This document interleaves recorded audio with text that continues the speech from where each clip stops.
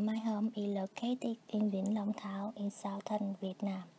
It is only a small town, but it is a place that gives me some specific presents, such as the love of nature, the love of family, and the love of friendship. All of these are kept carefully in my mind until now. I also have an on-gift present, my own bracelet, from my grandmother. I always keep it carefully, and it had a special influence on my life when I came in Minnesota. My bracelet is a stone, light red color. It is very old. I have it about 16 years. It was a present from my grandmother when I passed a high school examination with the highest score. It's not an expensive present, I like so much because of its color and its meaning. When I was a child, my parents often went far away for their work, so my grandmother took care of me. Her name is Ba Chung.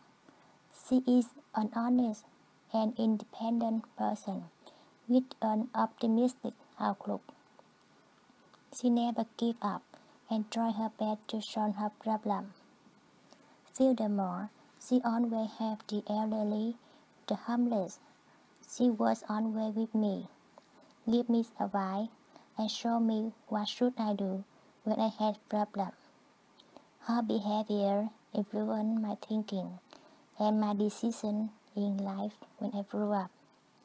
That is the reason why I always keep my bracelet with me wherever I go and whatever I do. In 2008, I married, and four years later, I came to Minnesota. As first living in the United States, everything was so different. I felt nervous because I couldn't go anywhere by myself or communicate with others in English. I also missed my home so much. At that time, my grandmother phoned and convinced me not to give up. She said, The beginning is not always easy. The more I try, the more successful I will be. Until now, I have been living in Minnesota for three years.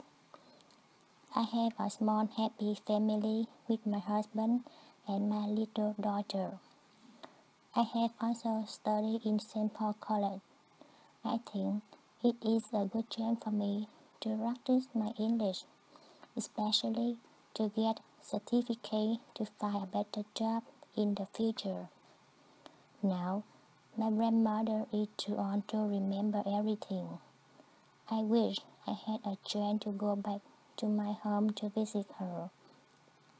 I will wear this bracelet forever, even though it is old, has no value as gold or silver, and it it reminds me the love of my grandmother and how I get faith in my life, especially here in Minnesota.